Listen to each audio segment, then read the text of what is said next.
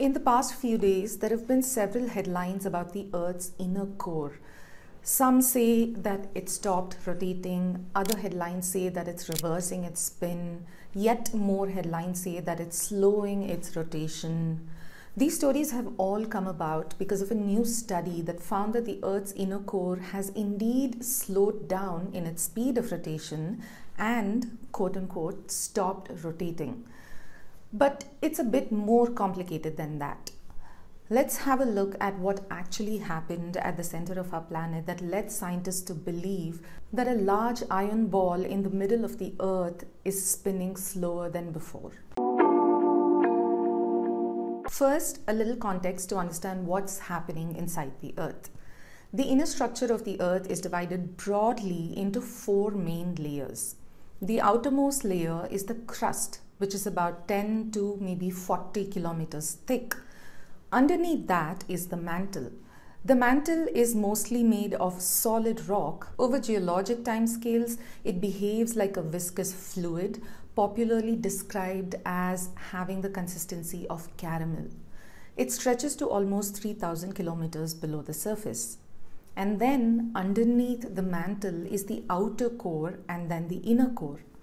The outer core is a fluid made up of iron and nickel and goes up till about 5000 kilometers below the surface. And inside this outer core is the inner core. This inner core is fully solid and is basically a ball of iron and nickel alloy.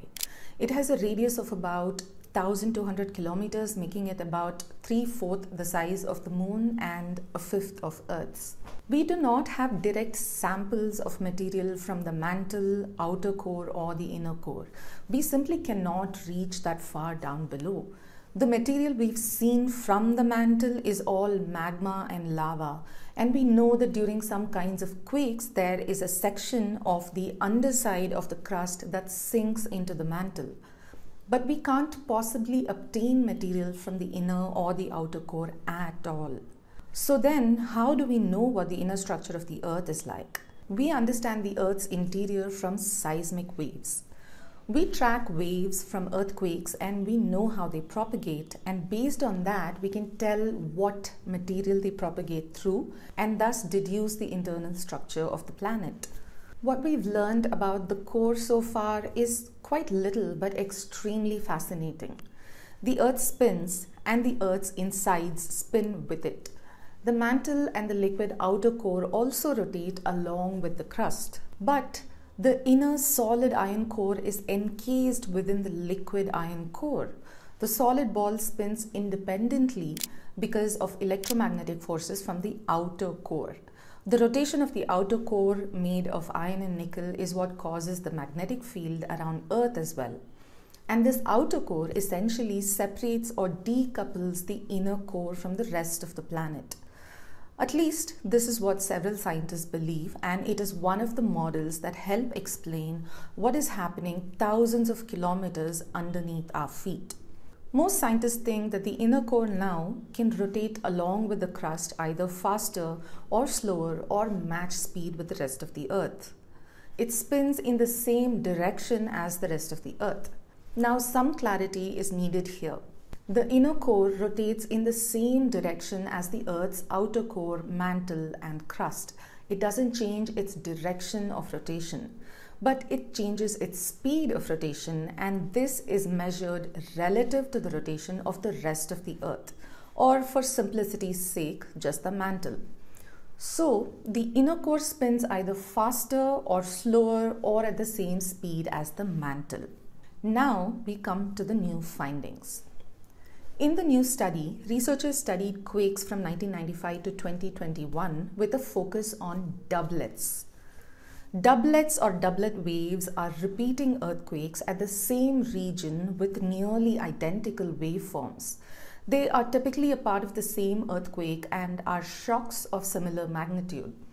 After the first shock, the next one could occur after seconds or minutes or months and even years. These are not aftershocks, these are individual separate shocks due to the similarity in their magnitude. The team studied these doublets over decades and they found from analyzing the seismic data that it seemed that the inner core, which was rotating faster than the mantle or super rotating, had started to slow down in the late 2000s and started rotating at the same speed as the mantle in about 2009 to 2011. So, relative to the mantle, the inner core stopped spinning at this time and it has continued to slow down since. It is now sub-rotating or rotating slower than the mantle, but everything is rotating in the same direction. This is what the study found. So when geologists and seismologists say that the inner core stopped rotating, they mean it relative to the rotation of the mantle.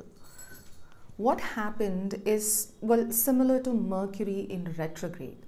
Mercury being in retrograde is an astrophysical phenomenon that has been co opted by astrology. It basically means that the Earth overtakes Mercury in its orbit, and therefore, to us on Earth's surface, Mercury appears to briefly orbit backwards, although it is simply continuing in its normal orbit. The same thing is happening here. To us on Earth's surface, the core briefly appears to be spinning backward when it slows down, but it's not. It matched speed with the mantle and then continued slowing down to subrotate. This subrotation and superrotation is not new. Researchers have found previously data confirming that the Earth's inner core changes its speed of rotation. It is believed that in the 60s it rotated slower than the mantle, and from the early 70s it started rotating faster. Many scientists also believe that there are periodic changes in geophysical phenomena on Earth every 60 to 70 years. This periodicity is seen in many things. There is some oscillation in the Earth's magnetic field dipole. There is an oscillation with the mean sea level rise, mean global temperature, mantle plume activity, the length of one day, variations in the Atlantic and Pacific Oceans, and many other such observations all of these parameters seem to go up and down the average every 60 to 70 years. For the longest time, the speculation has been that all of this is being driven by activity in the core, because what else could affect the magnetic field around Earth and also mantle activity and a bunch of other global phenomena? And the new findings add more evidence to this model and this theory. It seems that the rate of rotation of the inner core varies periodically every 60 to 70 years. But why? Why does the core change its speed like this and why this particular time period? And the complete answer to that is we don't know. There are many theories, such as periodic perturbations or even gravitational fields of the sun and moon, which we already know are slowing down the rate of rotation of the earth. These theories fit this current model, but there are also other theories and models about the core itself. Some scientists believe that the inner core modifies seismic waves because of its surface and interior structure. Others believe that there are aberrations on the surface that could affect seismic wave propagations because we're understanding everything that we do about the inner core from studying only seismic waves. So we do not have a clear picture and we don't know. And in fact, we may actually never know what exactly is going on at the inner core, not for a very long time. The activity of Earth's inner core, its superrotation and subrotation, have no effect on our lives here on the surface and on a majority of things we see and observe around us but they affect other things such natural geophysical phenomena which we saw earlier which also we still don't fully understand yet.